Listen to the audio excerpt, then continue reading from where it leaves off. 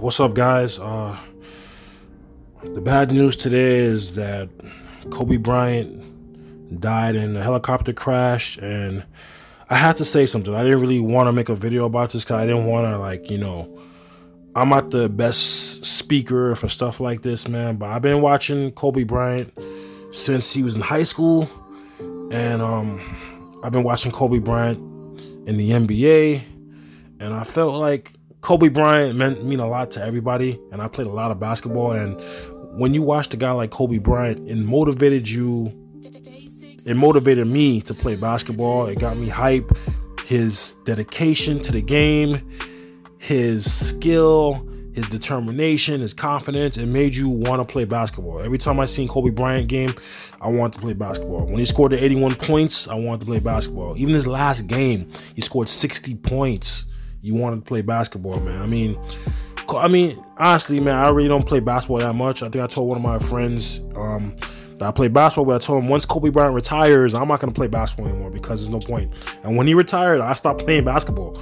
So, but he's the, one of the guys that motivated me to play basketball. We're similar in age. So like when I was a teenager in high school, he was in high school, and I watched him play, and I was rooting for him because he was one of the young guys. It was him and Iverson. You got Kevin Garnett, all them guys, and basketball was great then, man. And um, it's like sad. Like when somebody told me that Kobe Bryant died in a helicopter crash, I couldn't believe it, man. I thought somebody was joking around. You're joking. Kobe Bryant's like invincible. There's no way this guy died in a helicopter crash, but him and his daughter died in a helicopter crash, and my condolences go out to their family their friends, it, um, even to the basketball world. It's sad, man. I'm telling you, it's sad. Um, like I said, man, like um, it's a hard video for me to make. Uh, Kobe Bryant meant a lot, meant meant a lot to everyone, man. To his comp- competitors, to his teammates. This guy was the greatest, man. He was the greatest. A lot of people want to throw Jordan out there. Jordan is great.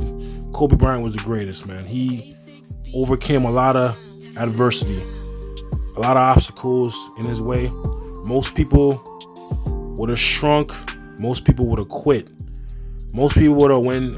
Most people went in their house and sit in their corner and not leave that corner. But Kobe Bryant battled through adversity. He battled through injuries. He battled through criticism.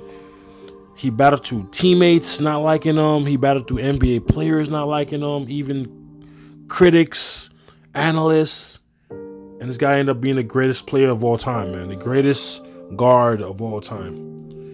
One of the greats, man. Definitely Hall of Famer. Five championships, a whole bunch of All Star appearances, MVPs. Yo, this guy is one of the best, man. And um, it's sad to see that he's gone. And uh, I just saw. I hope he rests in peace. It's sad, man, but like I said, uh, I'm not the normally I don't do stuff like this, man. But like I said, I was a huge basketball fanatic back in the day.